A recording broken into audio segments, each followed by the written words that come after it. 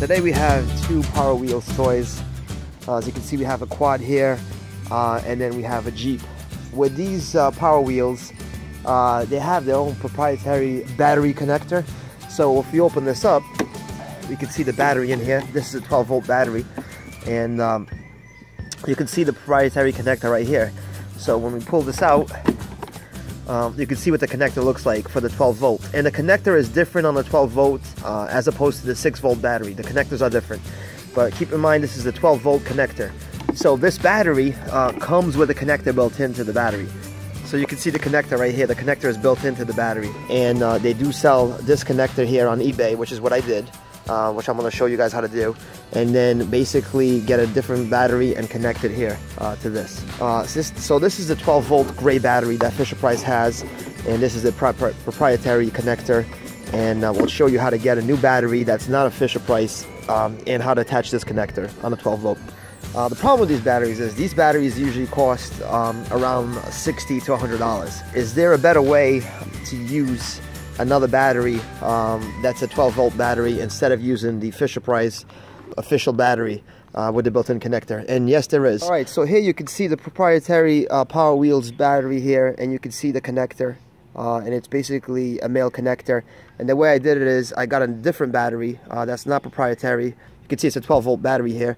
And the key to this is getting the same male connector. And you can see I got this on eBay and it's very important that it comes with an inline uh, fuse. So if for some reason it draws more power, it blows the fuse and doesn't start a fire in the you know in the kid's power wheel. Um, and the way I have it connected here, I have it around the screws. You really, in theory, you want to have a ring connector here uh, on either end, but uh, this is the way I did it. So now you can see if I take this uh, non-proprietary battery and I bring it up to uh, the connector that's inside the power wheels, it will connect. And you can see I just connected. And that's how you use a 12 volt battery that's non uh, power wheels brand. So it's very important that if you do buy an off-the-shelf battery that you have a uh, 30 amp inline fuse uh, you can buy the fuse by itself or you can buy the fuse uh, with the adapter as pictured here but this is very important. The other thing that we're going to do now is uh, we're going to look here at this uh, Jeep so the Jeep is a little bit different the Jeep has uh, two 6 volt batteries I used to have when I bought this. I bought this used and the batteries didn't come uh, with the Jeep. So what I did was I cut the connector off and um, for now, um, this is what I was talking to you about. This is the connector that I'm going to use, which is a 12 volt connector.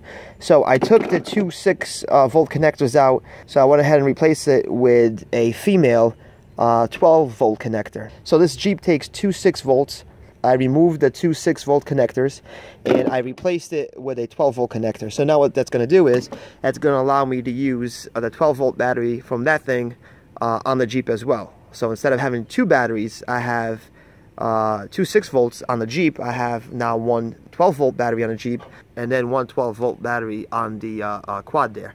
And it's the same battery and it's going to plug in the same way and I can use the same charger. See what I'm getting here? I'm getting rid of these two batteries that you're supposed to be in here, and I replaced it with one battery. I'm going to replace it with one 12 volt battery that will work on both the Jeep and the quad.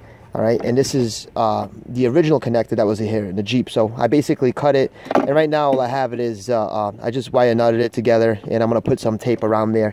But this is the connector that you need to use a non-proprietary Power Wheels battery. So the female connector is on the vehicle uh, end, that's the male connector on the battery, and then the vehicle end has the female connector. Like I said, on the Jeep here, I basically took the two uh, 6 volt batteries with a 6 volt connector and I removed it to make it uh, like this. So one of the advantages of using a non-Power Wheels battery like I have here, uh, now that I have a uh, harness on here, is that you can use the uh, Power Wheels uh, charger. And here's the charger right here. And you can see that it simply just plugs in here on the harness. Just like that. Whoa! that was fast. You have to put your hands on the wheel though. Now press the gas pedal and the wheel at the same time. Go. Okay, okay, okay. Oh!